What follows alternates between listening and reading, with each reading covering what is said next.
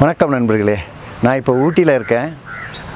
ஊட்டியிலேருந்து வந்துகிட்டு இருக்கும் பொழுது இந்த செரி பிளாசம் ஃப்ளவர் பார்த்தோன்னே ரொம்ப அழகாக இருந்துச்சு. இதுக்கு பேர் ப்ரூனஸ் செரசோயிட். பிங்க் கலரில் இருக்கு பாருங்கள் ஒயிட் பிங்க்கு ரெட் கலர் எல்லாமே வந்து இந்த வெரைட்டியில் உண்டு. இது ரொம்ப மரம் ஃபுல்லாக பூத்து ரொம்ப அழகாக இருக்குது பாருங்கள்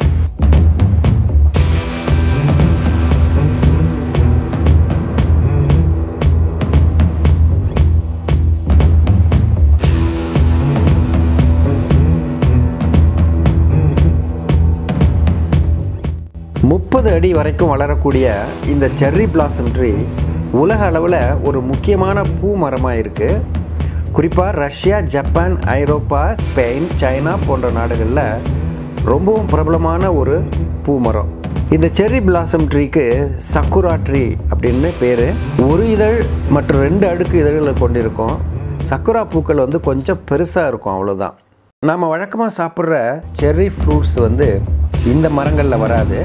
அது செர்ரி ட்ரீன்னு தனியாக இருக்குது பொதுவாக வசந்த காலத்தில் பூக்க ஆரம்பிக்கிற இந்த சக்குரா பூக்கள் ஒரு நல்ல மகிழ்ச்சியான ஆரம்பத்தை கொடுக்கும் அப்படின்னு நம்பப்படுது.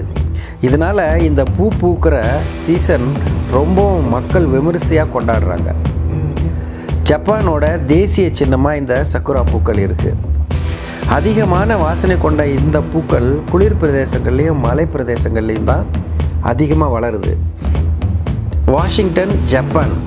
இந்த ரெண்டு நாட்டிலையும் ஒவ்வொரு வருஷமும் இந்த பூக்கும் காலங்களில் விசேஷமான நிகழ்ச்சிகள் வந்து அதிகமாக நடத்துகிறாங்க இந்த செர்ரி பிளாசம் பூக்களில் வெள்ளை பிங்க்கு சிவப்பு ஆகிய மூன்று நிறங்களில் பூக்கிற மரம் இருக்குது இதில் வெள்ளை பிங்க்கு ரெண்டுமே உயர்ந்ததாக கருதப்படுது. கிட்டத்தட்ட பல நூறு ஆண்டுகள் வாழக்கூடிய இந்த மரம் ஜப்பானில் ஐநூறு ஆண்டுகளுக்கு மேலே பூ பூத்துக்கிட்டே இருக்குது அதை தான் இப்போ நீங்கள் பார்க்குறீங்க பூக்கள் பூக்க ஆரம்பித்தா ரெண்டு வாரங்கள் மட்டும்தான் இருக்கும்.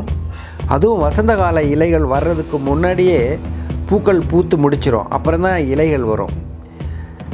இதனால தான் இந்த மரங்கள் வந்து இலைகளே இல்லாமல் பூக்கள் மட்டும் தனியாக தெரிகிறதுக்கு காரணம். இந்த வாசனையான பூவிலிருந்து நறுமணப் பொருட்கள் லோஷன் அழகு சாதன பொருட்கள் வாசனை திரவியங்கள் ஷாம்பு கண்டிஷ்னர் இப்படி ஏகப்பட்ட பொருட்கள் வந்து தயாரிக்கப்படுது.